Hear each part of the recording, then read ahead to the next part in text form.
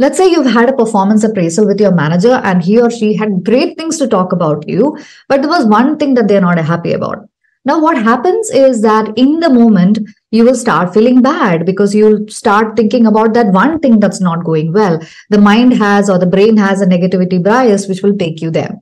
Now, what will happen is after that, for hours, for days, or even weeks, you might start feeling so bad, uh, so negative, so anxious, so stressed, uh, blaming yourself, feeling very negative that you don't have a chance in your life, that your success is ruined, your boss doesn't like you, that you are to blame, etc., etc. That might happen, right? So, as per Buddha, yes, Buddha, there are two arrows in action here, two arrows of suffering. The first is when the incident itself, where your boss itself gives you the bad news. That happens.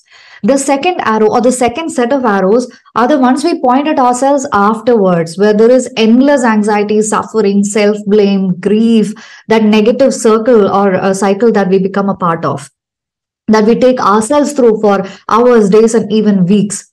Now, that second suffering is not helpful, neither productive. It, uh, you know, drains a lot of mental, physical, and spiritual energy. Now, uh, we want to work on the feedback. So that is where focus on the first arrow, focus on what's not working and how you can quickly get out of the situation rather than be in the endless, unproductive cycle of the second arrows of suffering. Does that make sense? If yes, give me a thumbs up.